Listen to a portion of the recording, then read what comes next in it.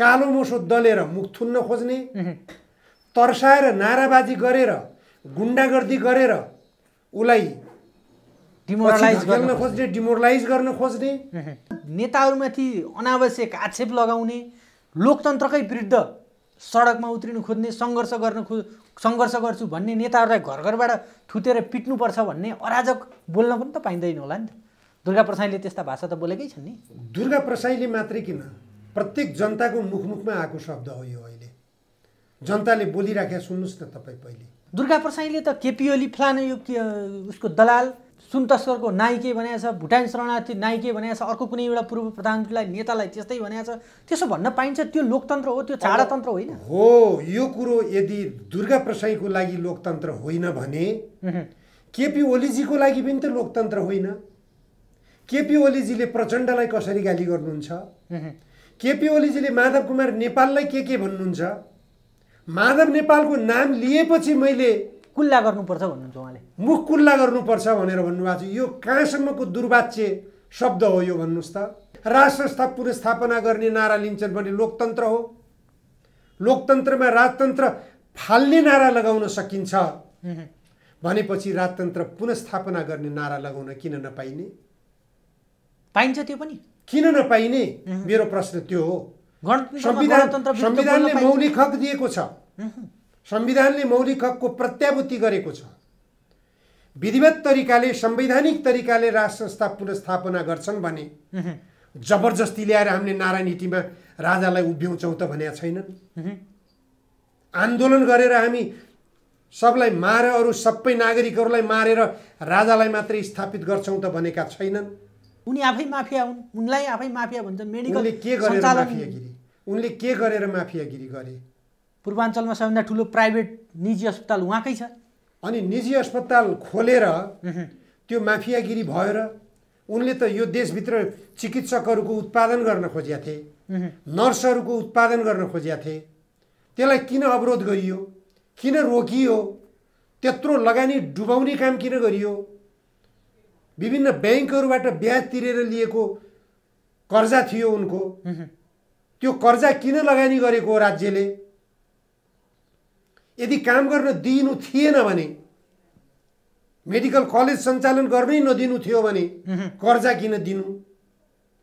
कर्जा दिइसकेपछि medical college सञ्चालनको निम्ति वातावरण बनाउनु पर्ने राज्यको दायित्व होइन। दुर्गा प्रसाई अलि हठी स्वभावका हुन् भन्ने कुरा उनले सन्देश दिएकै छन्। उनले माओवादी कित्तामा पनि काम गरे एमाले कित्तामा पनि काम गरे भनेर आफ्नो सन्देश पटक पटक दिने गरेका छन्। सेनाको हिरासतमा पनि बसे सेनाबाट पनि दण्डित भएँ भन्ने कुरा बोलिरहेका छन्। आज गर्दा गर्दै राजावादी किन बन्न पुगे भन्ने कुरा पनि उनले बोलिरहेका छन्। यी बोलाइबाट पनि देख्न सकिन्छ उनी राजनीतिक दलका नेताहरूबाट वाक्क दिक्क भएर वैकल्पिक राजनीतिक धारको वकालत गर्दै हिँडिरहेका छन् उनी। उनलाई आतङ्कित बनाउनुभन्दा उनले उठाएका एजेन्डाहरू सम्बोधन गरेर उनलाई निस्तेज बनाउने उनलाई सम्बोधन गर्ने उनलाई कन्भिन्स गर्ने उनलाई चित्त बुझाउने। ए दुर्गा प्रसाई आऊ हामी नै सम्बोधन गर्छौँ नि तिम्रा कुराहरू त। तिमीले जो वित्तीय क्षेत्रका समस्या ल्याइरहेका छौ ती वित्तीय क्षेत्रका समस्या त गणतन्त्रमा नै सम्बोधन गर्न सकिन्छ। किन राजाको वकालत गर्न खोज्छौ तिमी? प्रचण्डले भन्ने प्रयास गर्नुभयो कहिले? केपी ओलीले सम्झाउने प्रयास गर्नुभयो कहिले? माधव नेपालले शेरबहादुर देउवाले कसैले सम्झाउने प्रयास गर्नुभयो कहिले? कसैले कुनै प्रयास गरेको देखिएन। तर राजा ज्ञानेन्द्रले मञ्चमै उपस्थित भएर म तिमीलाई साथ दिन तयार छु। राजाले मलाई नारायण टीमा राख त भनेका छैनन्। ज्ञानेन्द्रले केही काम गरेर देखाऊ। जनताका आवश्यकता सम्बोधन गर। देशलाई समस्याको भड्खालोमा नहाल। मलाई राजकीय शासनमा अगाडि बढ्नु छैन। ज्ञानेन्द्रले त धेरै पटक भनिरहेको सुन्छु त म। मैले त उनको प्रत्येक विज्ञप्तिहरूमा त्यही कुरा पढ्छु त्यही कुरा सुन्छु। अहिले त लोभ लागेको छ कि ज्ञानेन्द्रलाई पनि पछिल्लो समय? यो सुन्दैन। यो लाग्नु उनलाई लोभ लाग्नु बेग्लै कुरा हो। उनको मनभित्र के छ त्यो बेग्लै कुरा हो। मैले बुझ्ने कुरो भएन। तर उनका जो अभिव्यक्ति बाहिर आउँछन् ती अभिव्यक्तिहरूले त राजनीतिक दलका नेताहरूले जे सपना बाँड्नुभयो अग्रगमनका कुरा गर्नुभयो लोकतन्त्रका कुरा गर्नुभयो मुखले भनेर मात्र हुने रहेनछ राष्ट्रिय स्वाधीनताका कुरा गर्नुभयो खोइ तपाईँहरूले लोकतन्त्र दिएको जनतालाई खोइ जनतालाई अग्रगमन दिएको यही कुरो बोले देख्छु त म त। यिनै दुर्गा प्रसाईहरूलाई पनि भित्रभित्र राजा ज्ञानेन्द्रले उक्साइरहेको छ भन्नेहरू पनि छँदैछन्। राजनीतिक वृत्तमा संसदमा मलाई लाग्दैन हेर्नुहोस्। राजा ज्ञानेन्द्र राजाले- त्यस्ता सोझा छन्। राजा राजालाई बरु अरूले उक्साउन सक्छन्। राजाले कसैलाई उक्साउन सक्ने राजाको हैसियत छैन। दुर्गा प्रसाईलाई राजाको धाप छैन? छैन छैन। म मान्दैन। म देख्दैन कतैबाट पनि यिनी देशका यिनी नेताहरूको मैले पूर्व मैले भने त पूर्व। राजा पूर्व राजा ज्ञानेन्द्रले स्पष्ट शब्दमा बोलेका छन् त खोइ त अग्रगमन खोइ त लोकतन्त्र खोइ त तिम्रो विकास। बाहिर बाहिर भन्ने भित्रभित्र त्यसको अवरोध लोकतन्त्रलाई गणतन्त्रलाई अग्रगमनलाई अवरोध गर्ने काम पनि विभिन्न? मान्छेहरू लगाएर तिनीहरूले गरे भनेर। कहाँ अवरोध गरे के गरेर अवरोध गरे अहिले केही हिन्दू अतिवादी? अहिले केही हिन्दू अतिवादीहरूलाई उचाल्ने पनि तिनी हिन्दू अतिवादीहरूलाई कसले। उचाल्यो हिन्दू अतिवादीहरूलाई राजा ज्ञानेन्द्रले उचाले कि यहाँका मठाधीशहरूले उचाले राजा ज्ञानेन्द्रकै याद छ भनेर भन्छन्। हिन्दूहरूलाई राजनीतिक स्वतन्त्रता प्राप्त भयो भनेर भनियो त्यो पनि लगभग बत्तिस तेत्तिस वर्ष भइसक्यो। देशमा निर्दलीय व्यवस्थाको अन्त्य भएको दलीय स्वतन्त्रता भएको मौलिक अधिकारको प्रत्याभूति भएको। यो तिन दशकभन्दा बढी बितिसक्दा पनि नेपालका राजनीतिक दलका त्यो पनि स्थापित राजनीतिक दलका नेताहरू किन यिनीहरूको दिमागमा राजनीतिक स्वतन्त्रताको पदचिन्ह देखिन सकेन? यो बडा दुर्भाग्यपूर्ण नतिजा हो। एक आपसमा मारकाट हुलहुज्जत गुन्डागर्दीबाटै राजनीति गर्न सकिन्छ भन्ने मान्यता स्थापित गर्न खोजिएको छ देशभित्र। यो दुःखद पक्ष हो। तपाईँले सङ्केत गर्नुभयो दुर्गा प्रसाईमाथि हिजो कालो मोसो दल्ने प्रयास भयो। एक किसिमबाट कालो मोसो दलिएकै रूपमा प्रचार पनि भयो। र त्यसपछि जुन नाराबाजी भयो। त्यो ज्यादै डरलाग्दो घटना हो त्यो। यो प्रवृत्ति आफूमाथि पनि दोहोरिन सक्छ। यो सन्देश आफैले दिन खोजियो। त्यहाँ अब दुर्गा प्रसाई मुर्दाबाद। यो सन्देश के दिन खोजियो? त हामी शक्तिशाली छौँ। हामी दुर्गा प्रसाई जस्ता व्यक्तिलाई आउनै। दिँदैनौँ। कुरै राख्न नपाउने दुर्गा प्रसाईले उठाएका मुद्दाहरू के छन् पहिले? त्यो हेर्नु पर्यो। दुर्गा प्रसाईले उठाएका मुद्दाहरू बेठिक छन् भने त्यसलाई चिरेर जान सक्नु पर्यो राजनीतिक रूपमा यो यो कारणले बेठिक छन्। वित्तीय संस्थामा देखा परेको अराजकताको अन्त्य कसरी गर्ने त्यसतर्फ हेर्नु पर्यो स्थापित भनिएका राजनीतिक दलका नेताहरूले। सत्ताले र प्रतिपक्षले गम्भीर बन्नु पर्यो आत्मसमीक्षा गर्नु पर्यो। के हो त दुर्गा प्रसाईले वित्तीय क्षेत्रको अराजकता वित्तीय क्षेत्रको लुट यो लुटबाट जनता आतङ्कित भइरहेको अवस्था। यो के हो? किन यस्तो भइरहेको छ? यो विषयमा राजनीतिक दलका नेताहरूले चिन्तन मनन नगरेर मुख थुन्न खोज्ने कालो मोसो दलेर मुख थुन्न खोज्ने। तर्साएर नाराबाजी गरेर गुन्डागर्दी गरेर उसलाई डिमोरलाइज गर्न खोज्ने डिमोरलाइज गर्न खोज्ने। यो गतिविधिले यो लोकतन्त्रको यो राम्रो सन्देश चाहिँ होइन। लोकतन्त्रमा यस्तो सन्देश तर लोकतन्त्रमा नेताहरूमाथि अनावश्यक आक्षेप लगाउने लोकतन्त्रकै विरुद्ध सडकमा उत्रिनु खोज्ने सङ्घर्ष गर्न खो सङ्घर्ष गर्छु भन्ने नेताहरूलाई घर घरबाट थुतेर पिट्नुपर्छ भन्ने अराजक बोल्न पनि त पाइँदैन होला नि त।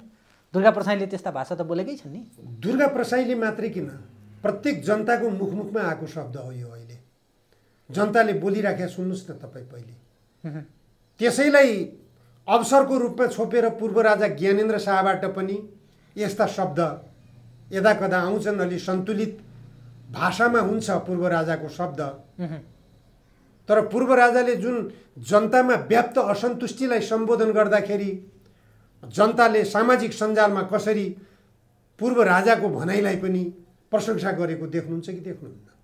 त्यसलाई के भन्ने हामीले? नेताहरूले के गरे त?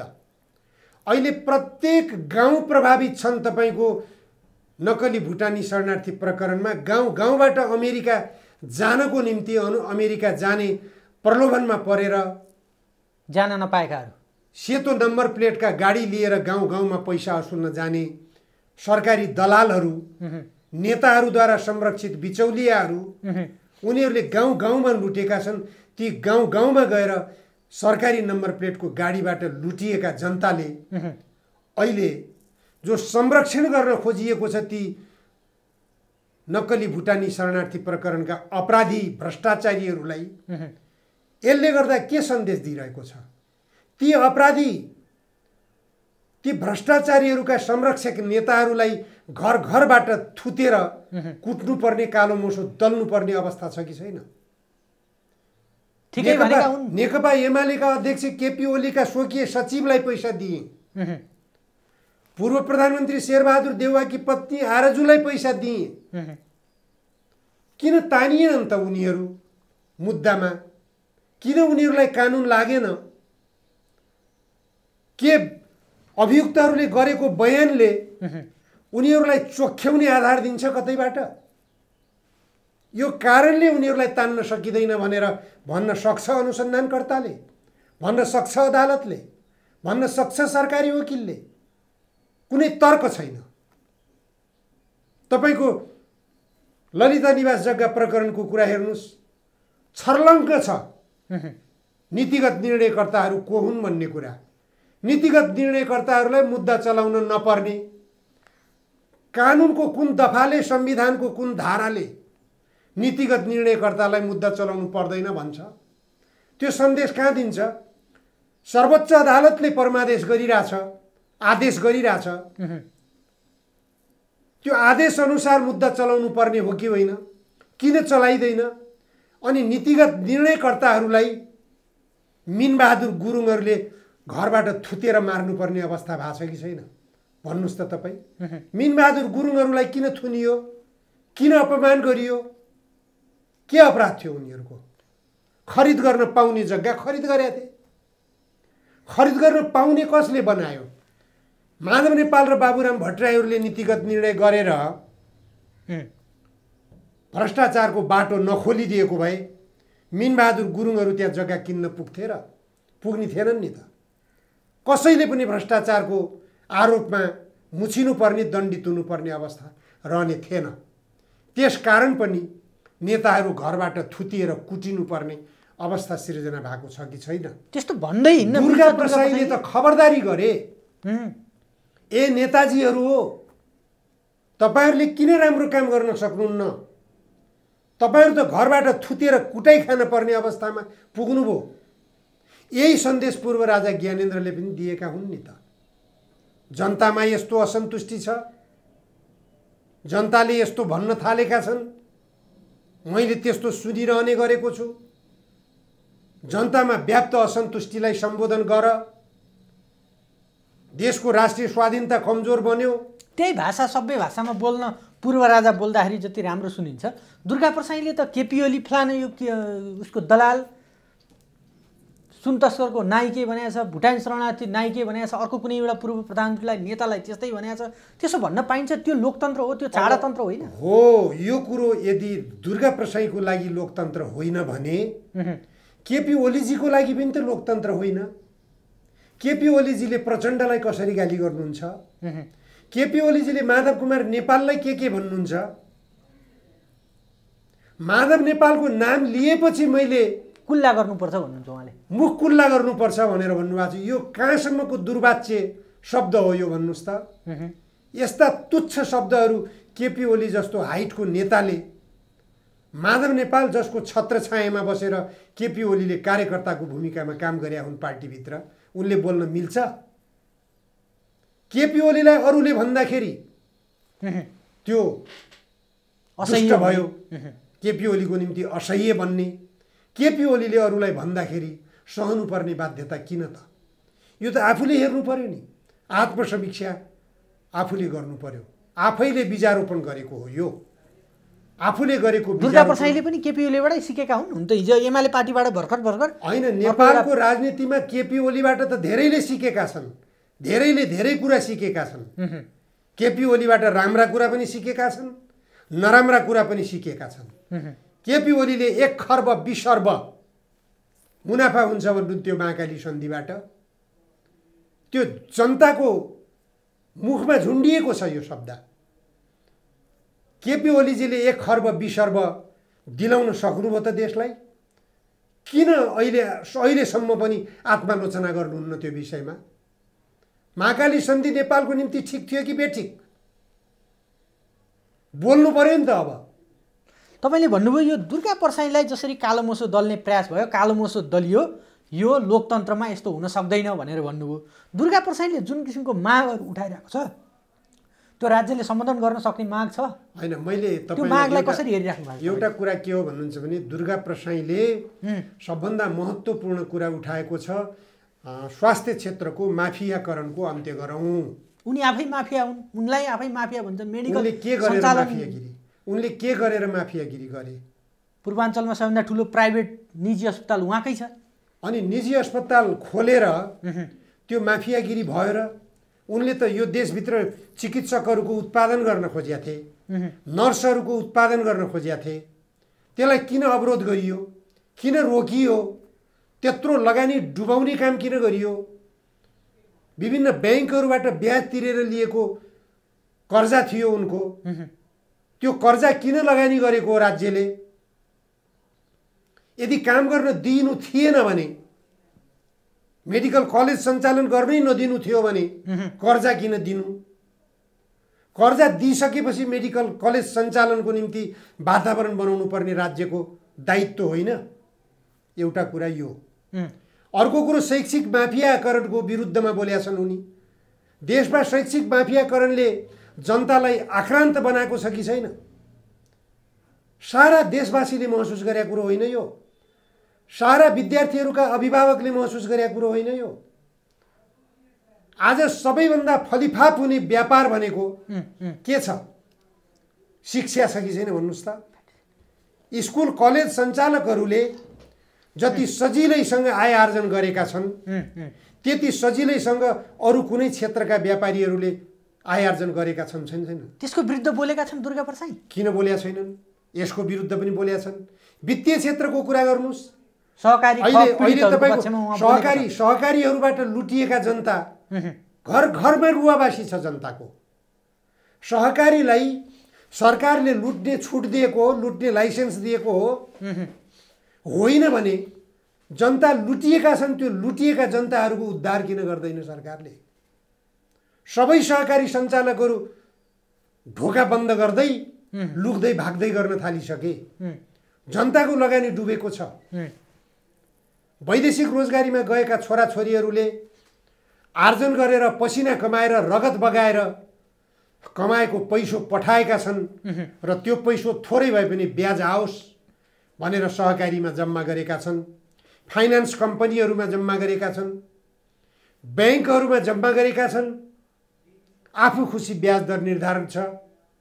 त्यसका ढङ्गले सहकारीहरू बन्द हुँदै गइरहेका छन् यही ढङ्गले भोलि ब्याङ्कहरू पनि प्रभावित हुनुपर्ने अवस्था विकसित हुन्छ। त्यो बेला देशको हालत के हुने हो? अहिले ब्याङ्कहरू जुन घाटाको व्यापार गरिरहेको दाबी गरिरहन् उनीहरूको लगानी प्रभावित भइरहेको छ उनीहरूको कर्जा उठाउने क्रम प्रभावित भएको छ ब्याङ्कहरूको उनीहरूको पनि समस्या चुलिँदै गइरहेको छ। यसको सम्बोधन कसले गर्ने? अनि दुर्गा प्रसाईले यी यिनै यिनै विषयहरूलाई त सम्बोधन गर्न खोजिरहेका छन्। जथाभावी ब्याज नल्याऊ व्यवसाय गर्नेहरूलाई न्यूनतम ब्याजमा व्यवसाय गर्न देऊ। आफैले लोनको अर्बौँ पैसा ब्याङ्कको अर्बौँ पैसा लिएर नतिर्नलाई दादागिरी देखाइरहेका छन् भनेर भन्छन् मान्छे। दुर्गा प्रसाई यो यो हेर्नुहोस् एउटा आरोप लगाउनको लागि जुनसुकै आरोप पनि लगाउन सकिन्छ। तर नेपालका नेपालका अब मैले के देख्छु भनेपछि दुर्गा प्रसाईजीले अलिकति बोल्ने क्रममा केही शब्दहरू उहाँले अलि परिमार्जन गर्नुपर्छ। कुनै समुदायलाई लक्षित गरेर उहाँ। बोल्ने गर्नुहुन्छ। मारवाडी समुदायमा पनि कतिपय देशभक्त नागरिकहरू छन्। देशभक्त व्यापारिक घरानाहरू पनि छन्। देशलाई माया मारवाडी समुदायमा। उनीहरूलाई राज्यले संरक्षित गर्नुपर्छ। तर लुटेरा पनि छन्। लुटेरा मारवाडी समुदायमा मात्रै छैनन्। नेवार समुदायमा पनि छन्। ब्राह्मण समुदाय बाहुनहरूमा पनि छन्। क्षेत्रीयहरूमा पनि छन्। भ्रष्टाचारी लुटेराहरूको एउटा छुट्टै वर्ग छ। जुनसुकै समुदाय होस्। ती सबै समुदायमा छितरिएका लुटेराहरूको एउटा वर्ग छ। त्यो वर्ग जनताको छुट्टै वर्गसँग पीडित वर्गका विरुद्धमा लुटेरा वर्गहरू संरक्षित छन्। सङ्गठित छन्। लुटेरा वर्गहरूले लुटिने वर्गहरूमाथि अन्याय गरिरहेछन् अत्याचार गरिरहेछन्। यो कुरालाई कमसेकम बोल्ने बेलामा आफूलाई प्रस्तुत गर्ने बेलामा दुर्गा प्रसाईले अलि सन्तुलित भएर बोल्नुपर्छ। मारवाडी समुदाय मारवाडी समुदाय मारवाडीहरूलाई लखेटेर छोड्छु यो खालका अभिव्यक्तिहरू शोभनीय होइन पक्कै पनि।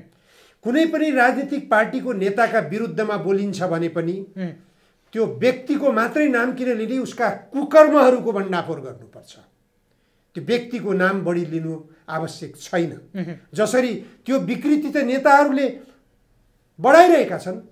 प्रचण्डले केपी ओलीको खेदो खनिरहेका हुन्छन्। माधव नेपालले केपी ओलीको खेदो खनिरहेका हुन्छन्।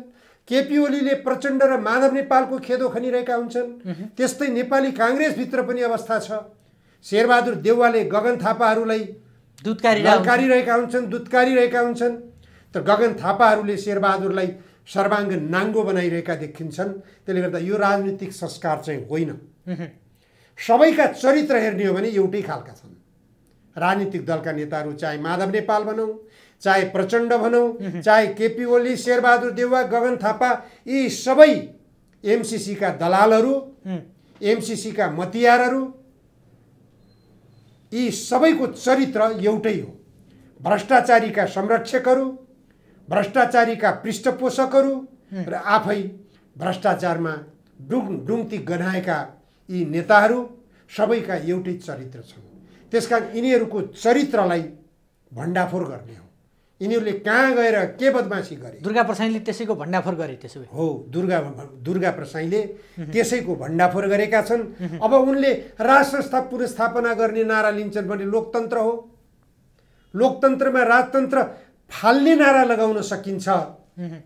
भनेपछि राजतन्त्र पुनस्थापना गर्ने नारा लगाउन किन नपाइने? पाइन्छ त्यो पनि। किन नपाइने? मेरो प्रश्न त्यो हो। संविधान संविधानले। मौलिक हक दिएको छ। संविधानले मौलिक हकको प्रत्याभूति गरेको छ। विधिवत तरिकाले संवैधानिक तरिकाले राज संस्था पुनस्थापना गर्छन् भने जबरजस्ती ल्याएर हामीले नारायण हिटीमा राजालाई उभ्याउँछौँ त भनेका छैनन्। आन्दोलन गरेर हामी सबलाई मार अरू सबै नागरिकहरूलाई मारेर राजालाई मात्रै स्थापित गर्छौँ त भनेका छैनन्। नागरिकहरूको आवाज उठाउँदै गएका छन्।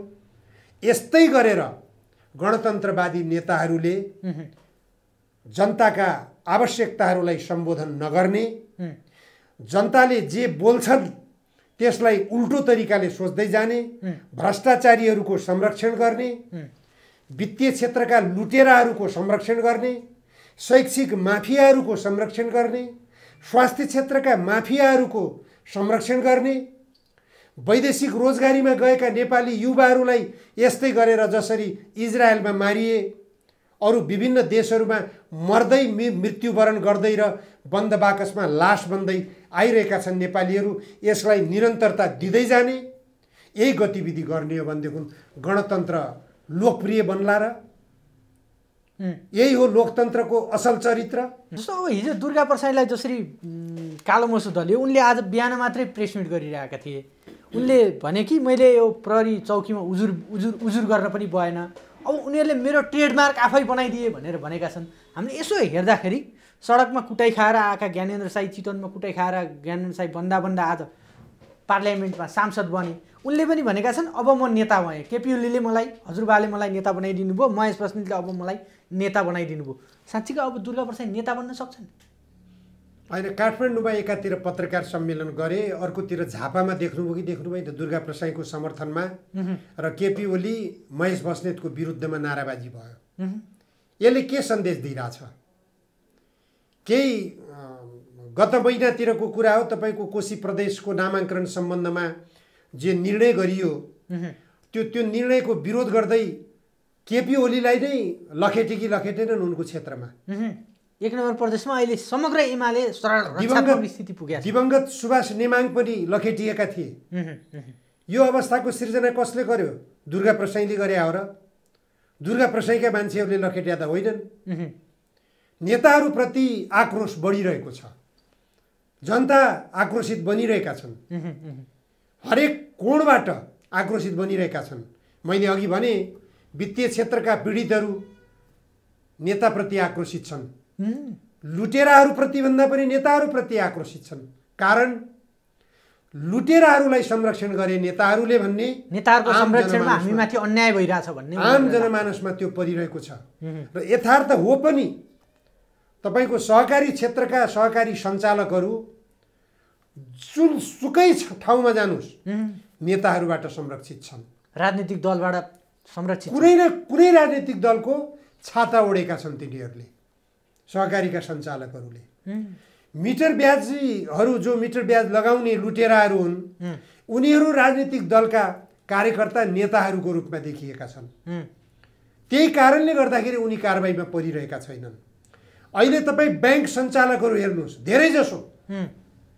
सबैको नाम नलिउँ धेरैजसो ब्याङ्क सञ्चालकहरू टुप्पोबाट पलाएका छन्। हलक्क महिनामा अरबौँ रुपियाँ नाफा हुन्छ। त्यो नाफा कहाँबाट हुन्छ? ब्याङ्कहरूले नाफा कसरी गर्छन्? प्रश्न छ ब्याज बाहेक। अरू कुनै चिज होइन ब्याङ्कहरूको नाफाको माध्यम।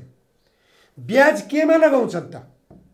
उत्पादनशील उद्योग त केही पनि छैन देशमा। उत्पादनशील उद्योग छैन। अनि ब्याज कहाँबाट आइरहेछ त ब्याङ्कहरूलाई?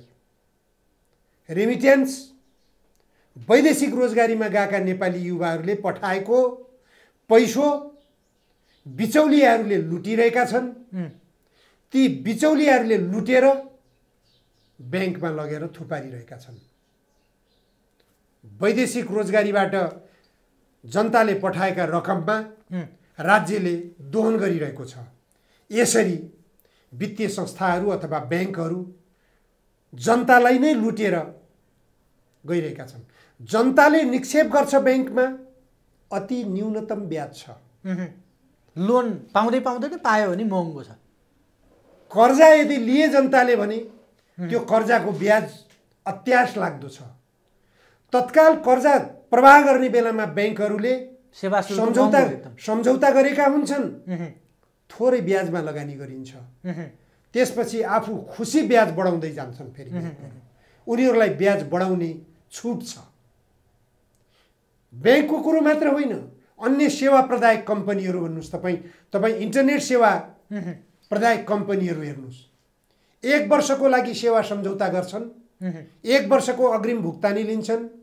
एक महिना नबित्दै इन्टरनेटको सेवा शुल्क बढाउँछन्। अनि बिचमा काट दिन्छन् सेवा।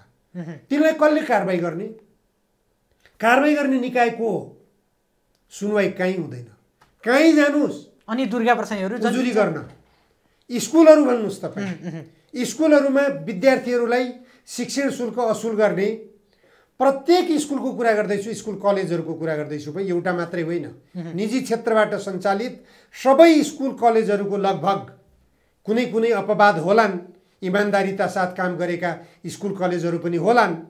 तर समग्रमा आम रूपमा जो नाम चलेका स्कुल कलेजहरू हुन् उनीहरूको लुट धन्दा उनीहरूका विद्यार्थीहरूका अभिभावकहरूसँग गएर बुझ्नुहोस् विचित्र किसिमको छ लुट धन्दा त्यो लुट धन्दाका विरुद्धमा स्कुलको प्रशासन समक्ष उजुरी लिएर जाने भने उजुरी दर्तै हुँदैन।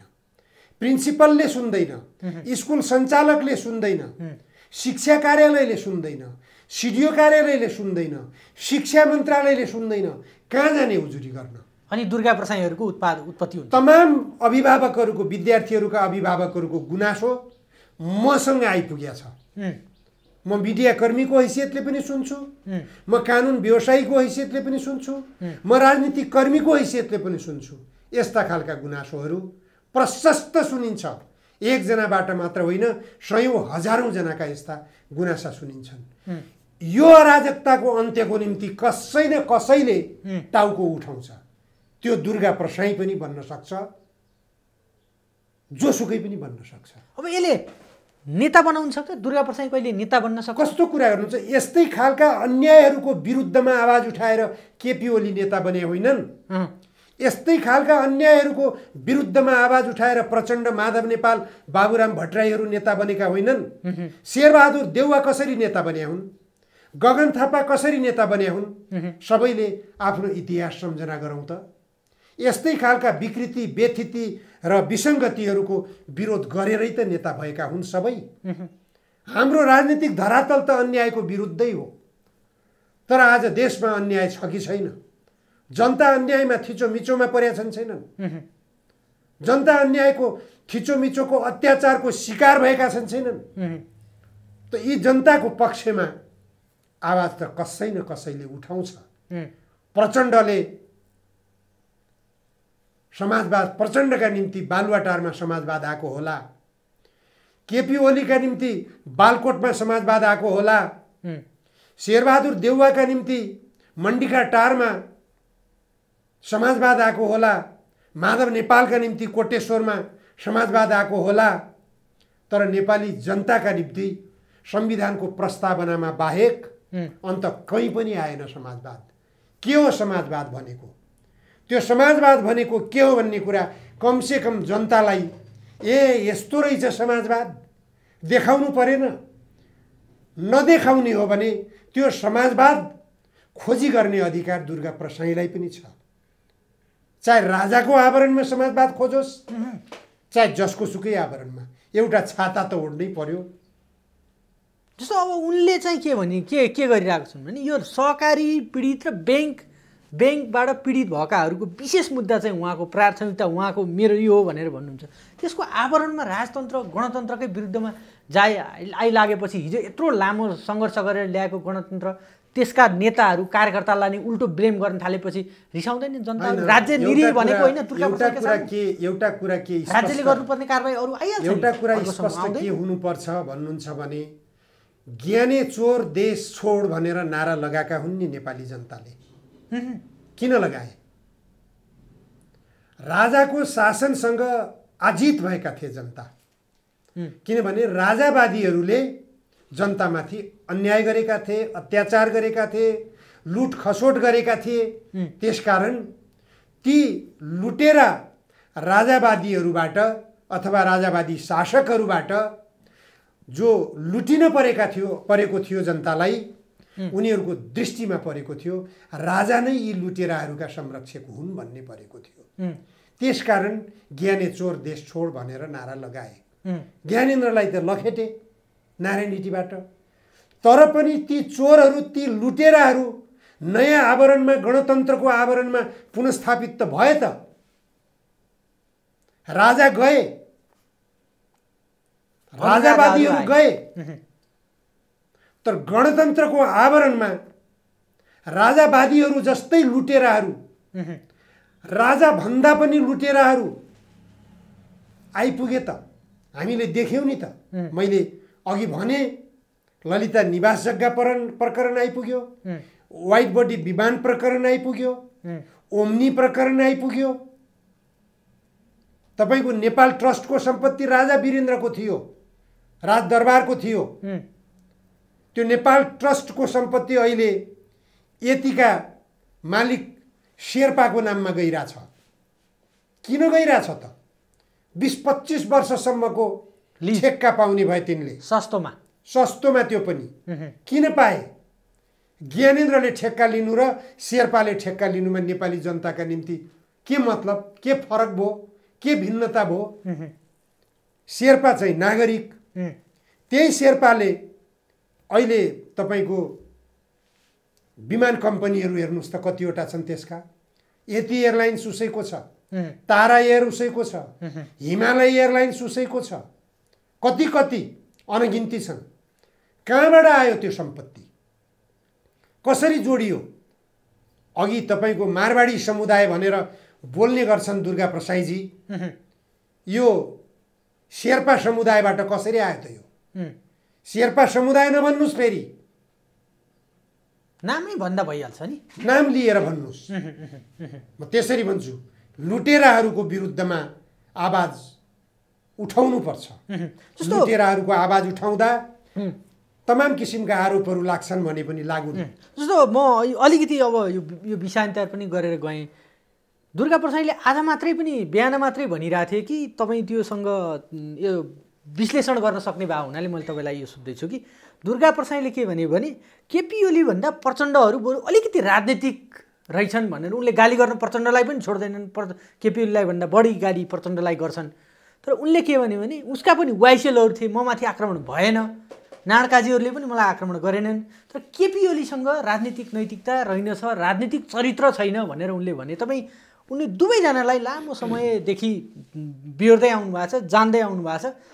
यो दुईजनाको राजनीतिक चरित्र तपाईँले कसरी केलाउनुहुन्छ? प्रचण्ड र केपी ओलीहरूको स्कुलिङको चरित्रलाई कसरी हेर्नुहुन्छ? यो प्रवृत्तितर्फ यसो हेर्दाखेरि दुर्गा प्रसाईको मात्रै केसमा नभएर कसरी हेर्नुहुन्छ? अब यो तपाईँको मेरो व्यक्तिगत अनुभवको आधारमा भन्नुहुन्छ भने मैले केपी ओलीसँग भन्दा प्रचण्डसँग अलि लामो समयसम्म नजिक बसेर राजनीतिक सहयात्रीको रूपमा रहेँ म पछिल्लो कालमा जब जनयुद्धमा जानुभयो प्रचण्डहरू जनयुद्धमा गइसकेपछि म जनयुद्धको सहयात्री चाहिँ बन्न सक्नु। म गइनँ। म त्यसपछि केपी ओलीको राजनीतिक सहयात्री भएँ म।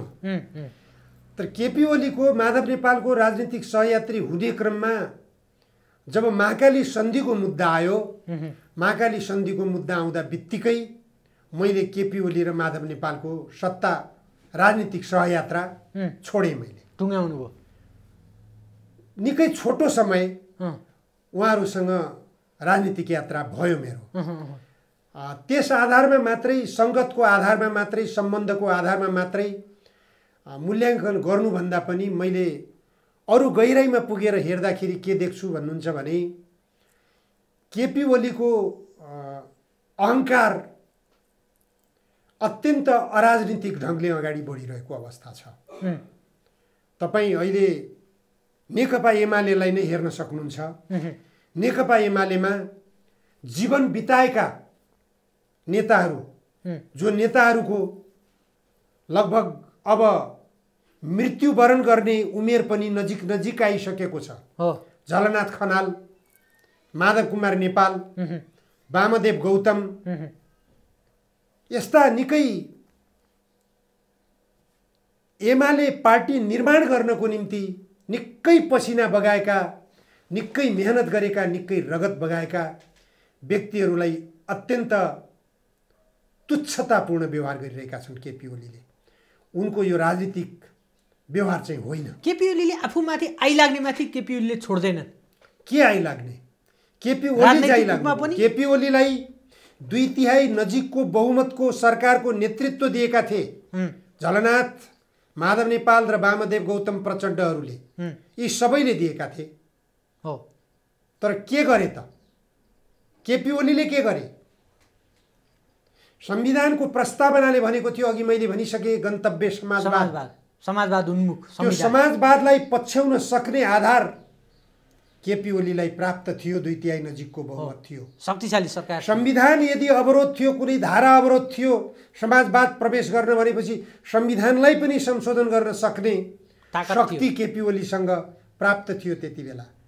यदि केपी ओलीले गन्तव्य समाजवादको यात्रा तय गर्न खोजेको भए न माधव नेपालले अवरोध गर्न सक्नुहुन्थ्यो न त प्रचण्डले अवरोध गर्न सक्नुहुन्थ्यो न वामदेव र झलनाथ खनालले नै अवरोध गर्न सक्नुहुन्थ्यो। त्यो अवस्थामा उहाँलाई बाटो खुला थियो। किन त्यो गन्तव्य समाजवादको बाटो अपनाउन चाहनु भएन उहाँले? यसबाट पनि प्रष्ट हुन्छ उहाँमा राजनीतिक संस्कारको अभाव थियो। उहाँमा राजनीतिक संस्कारको अभाव थियो भन्ने कुरा उहाँ प्रधानमन्त्रीको हैसियतमा छु भन्ने कुरा पनि बुझ्न चाहनु भएन मध्यरातमा प्रधानमन्त्रीको निवासमा छिमेकी देशको एउटा गुप्तचर प्रमुखलाई उहाँले त्रिभुवन अन्तर्राष्ट्रिय विमानस्थलबाट सिधै बालुवाटारमा किन आमन्त्रण गर्नुभयो?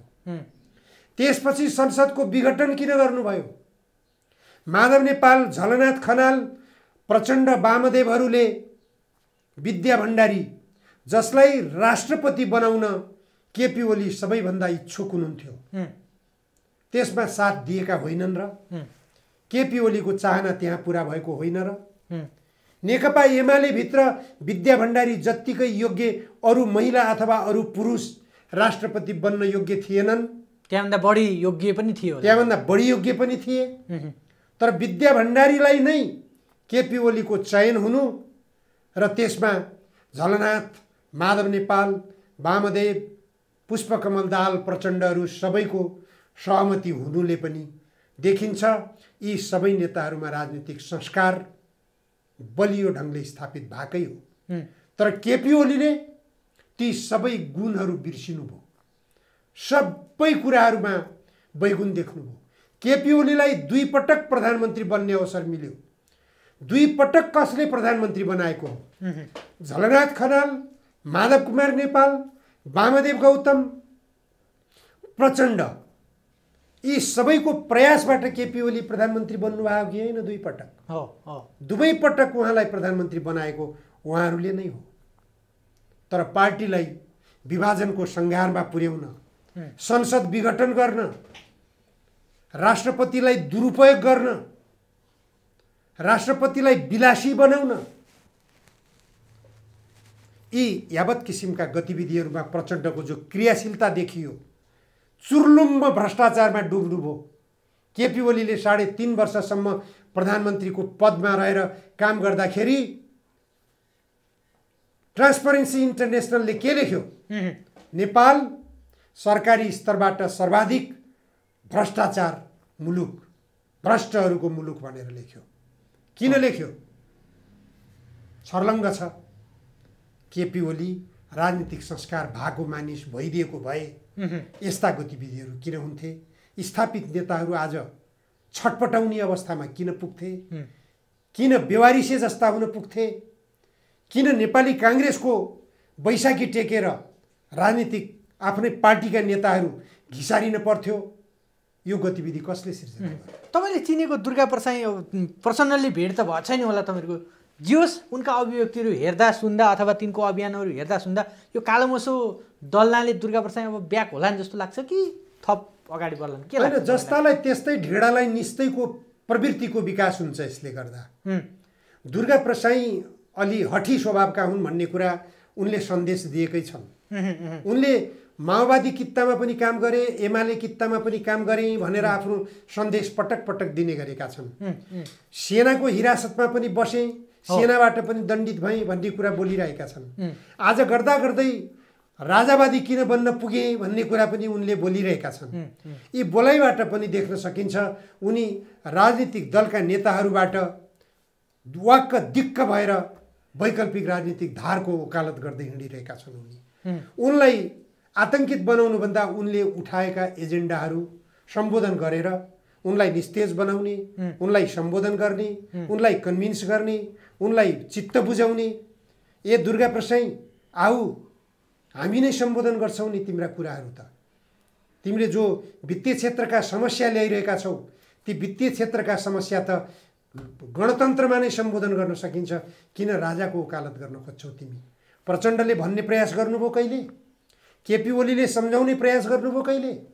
माधव नेपालले शेरबहादुर देउवाले कसैले सम्झाउने प्रयास गर्नुभयो कहिले? कसैले कुनै प्रयास गरेको देखिएन।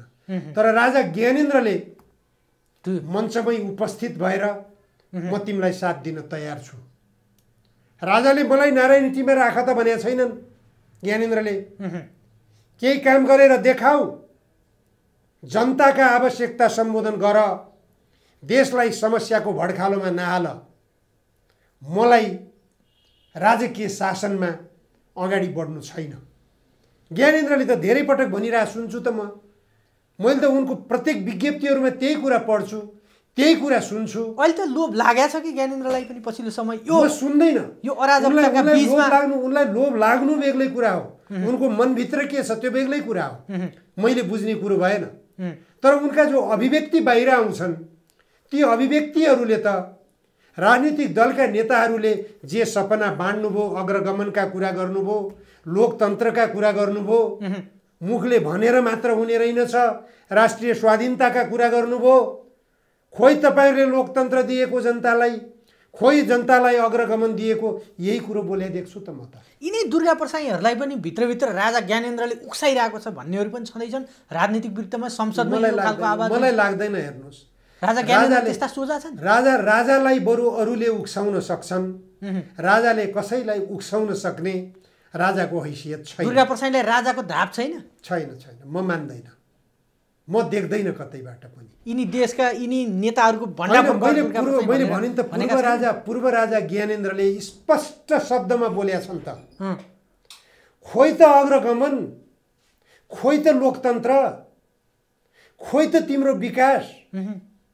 बाहिर बाहिर भन्ने भित्रभित्र त्यसको अवरोध लोकतन्त्रलाई गणतन्त्रलाई अग्रगमनलाई अवरोध गर्ने काम पनि विभिन्न? मान्छेहरू लगाएर तिनीले गरे भनेर। कहाँ अवरोध गरे के गरेर अवरोध गरे अहिले केही हिन्दू अतिवादी? अहिले केही हिन्दू अतिवादीहरूलाई उचाल्ने पनि तिनी हिन्दू अतिवादीहरूलाई कसले उचाल्यो हिन्दू अतिवादीहरूलाई राजा ज्ञानेन्द्रले उचाले कि यहाँका मठाधीशहरूले उचाले राजा ज्ञानेन्द्रकै याद छ भनेर भन्छन्। हिन्दूहरूलाई हिन्दूहरूलाई तपाईँको हिन्दू धर्म सापेक्ष देश थियो। धर्मनिरपेक्ष बनाइयो। धर्मनिरपेक्ष बनाउँदाखेरि हिन्दूहरूले किन धर्मनिरपेक्ष बनायो भनेर त बोलेनन् विरोध त गरेनन्। तर क्रमिक रूपमा हिन्दू धर्मका विरुद्धमा विदेशी धर्म प्रचारकहरूलाई अगाडि बढाउन थालेपछि विदेशी धर्म प्रचारकहरूलाई संरक्षण गर्न थालेपछि हजारौँको सङ्ख्यामा तपाईँको विदेशी धर्म प्रचारकका संस्थाहरू खडा हुन थालेपछि र हिमाली जिल्लाहरूमा धर्मान्तरणको अभियान नै चलाइएपछि हिन्दू धर्म मान्नेहरू हिन्दू धर्म सापेक्ष जनताहरू त अलिकति जुर्मुराउन त स्वाभाविक हो नि त। त्यो गतिविधि बन्द गरौँ न। राजाले त्यसो भए कहीँ कतै कसैलाई हस्तक्षेप गरेका छैनन् भित्रभित्र उचालेका छैनन्। राजालाई राजा आऊ देश बचाऊ भनेर जनताले भन्न पर्ने अवस्थामा किन जनतालाई पुर्याइयो? त्यो सोच्ने कुरो पहिले। मुख्य कुरो त्यो राजा आफै घिसारिएर जनतामा त पुगेका छैनन्। जनताले जहाँ राजा निस्क्यो त्यहाँ राजा आऊ देश बचाऊ किन भन्न थाले? किन प्रचण्ड आऊ देश बचाऊ भन्न छोडे अब जनताले? किन शेरबहादुर र प्रचण्ड केपी ओलीहरू सडकमा निस्कन नबन्ने वातावरण सिर्जना भइरहेछ? उहाँहरूलाई सुरक्षा घेरा किन चाहिन्छ? राजा त बिना सुरक्षा घेरा गइरहेछ त। जानु पर्यो त्यो जनताको बिचमा। वातावरण बनाउने कसले? आफैले होइन र? सत्तामा आफू भइसकेपछि। संविधानको प्रस्तावनामा लेखिएको गन्तव्य समाजवादमा प्रवेश नगर भनेर राजाले र राजावादीहरूले रोकेका छन् कतै? अवरोध गरेका छन् कतै? धर्मनिरपेक्षता राम्रो ढङ्गले लागू गर। विदेशी धर्म प्रचारकहरूलाई फल्न फुल्न देऊ भनेर राजावादीहरूले भनेका छन् र भनेका छैनन् नि त। किन फल्न फुल्न दिइएको छ त? किन खुला छुट दिएको छ त धर्म प्रचारलाई? किन पैसाको खोलो डलरको खोलो बगाउन अनुमति दिइएको छ धर्म प्रचारकहरूलाई? छर्लङ्ग छ।